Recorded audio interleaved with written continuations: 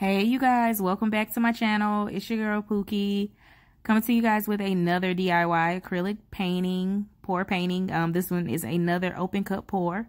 Um, this is a, it was a white canvas, but I went ahead and painted it all black. And some of, the black did have some like silicone in it. So that's the little spots you see where, um, the canvas is kind of showing through because of that silicone that was in the black paint. But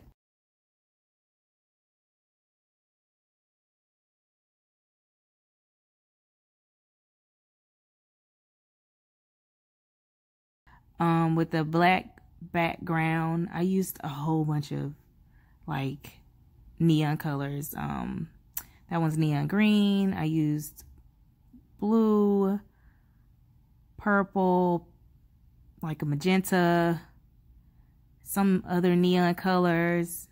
Um, you guys will see. So what I did was just alternate between those. Like I poured a little bit of each because I really wanted like it to be like super colorful, neon, colorful, bright. Um, and I was not sure how these colors would react to the black um, background. So this was an experiment I was trying just to see how it would look once it dried. Um, and you guys will see that at the end. I'll make sure I show you guys the ending results like when it dries. Um, so yeah. So that's just me alternating the colors.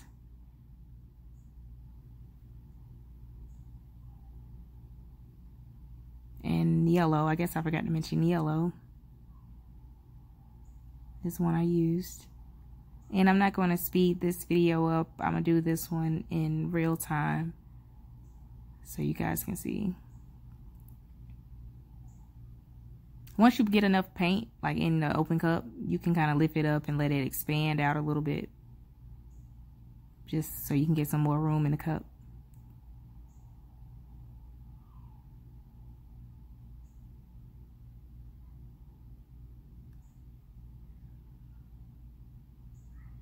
So, just go back and forth. Alternate colors. There's no real order I think I, I actually think I forgot what order I was going in. I just started pouring colors in there. So it's no true order, however you want to do it.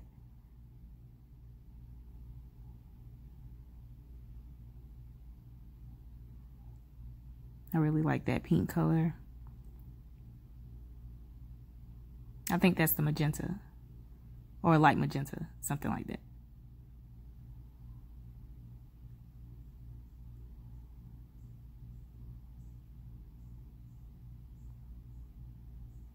And red. I forgot to put red in there.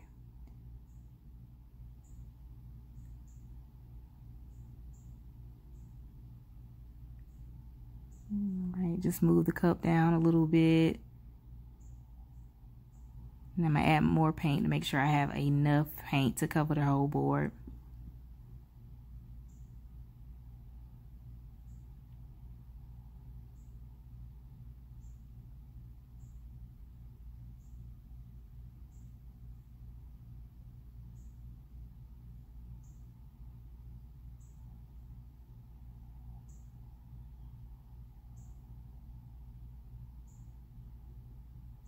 Whenever you're um you know just thinking of colors just like it takes me forever but i just kind of just put something together and i kind of go with it so.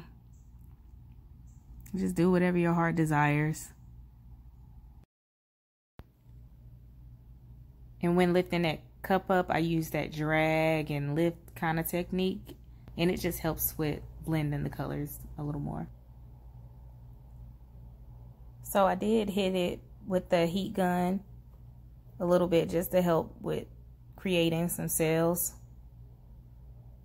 And I kind of let it sit for a second before I started moving the paint around.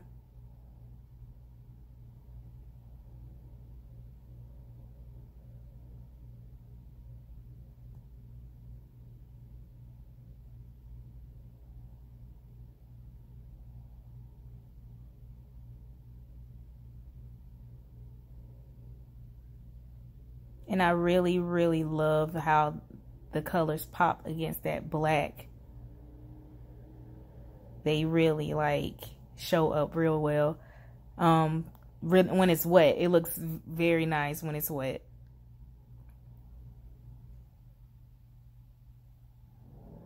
It looks nice when it's dry too, but you guys will see the end results. I'll let you guys see that, of course.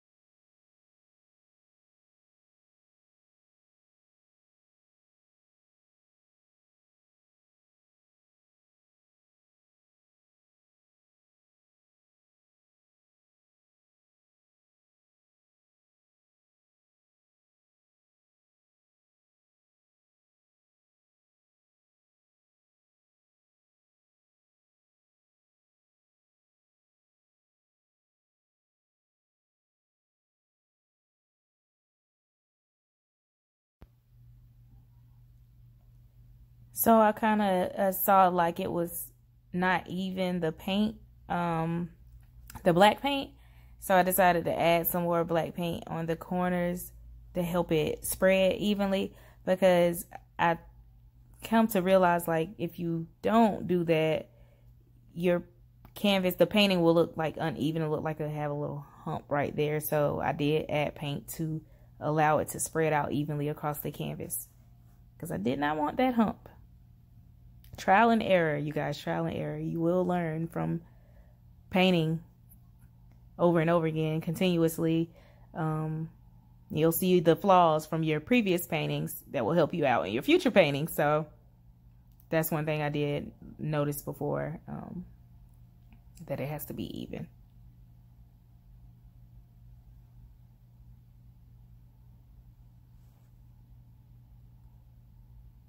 And I had to hurry up and make some um black more black paint. I seem to never make enough paint.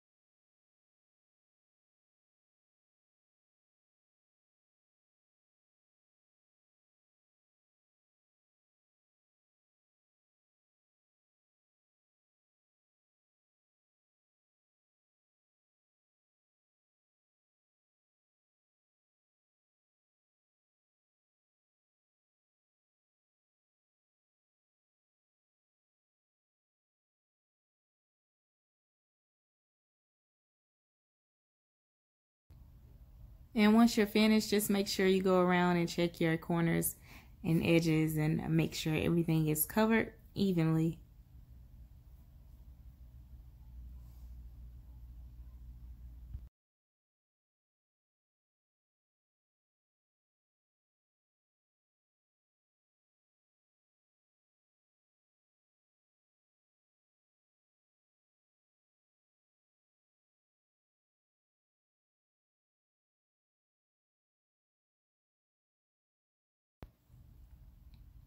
And as you can see when it's wet, it's very bright, colorful. You see every last one of them colors that you put into this painting, you can see it. But once it dries, it is a totally different story and I did not know that. It's still a beautiful piece, but once it dries, it definitely darkens tremendously. And you guys will see that.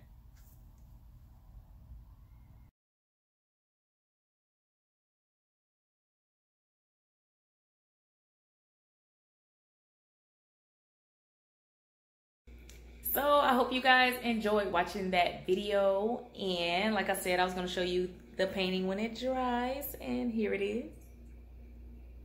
It's definitely still bright. You can definitely still see the colors. Um, so maybe it didn't darken up tremendously. Maybe I did exaggerate when I said that. But it's still a nice piece. And I like it.